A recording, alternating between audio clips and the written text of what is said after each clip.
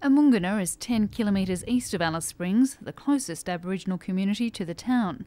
It sits just 2 kilometres outside the alcohol free zone introduced in Alice Springs in August. Amoonguna was one of the few Northern Territory Aboriginal communities where drinking was allowed.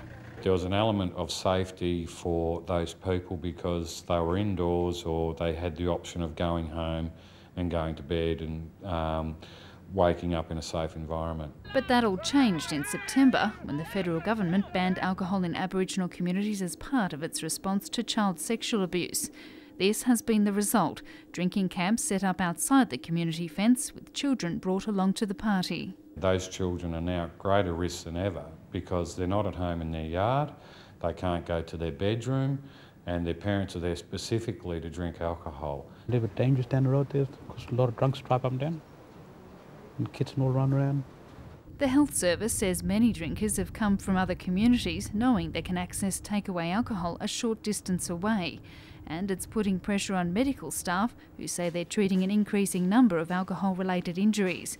It's a frustrating situation for Dave Evans, who flagged the likely effects of an alcohol ban in a letter to government ministers and Aboriginal organisations within a fortnight of the Commonwealth announcing its emergency response. I'm concerned that someone will be killed or seriously injured in one of these satellite beer gardens. Amoonguna's residents have already cast their vote in tomorrow's election, and many are hoping things will go back to how they used to be in the community. Kirsty Nancarrow, ABC News, Amoonguna.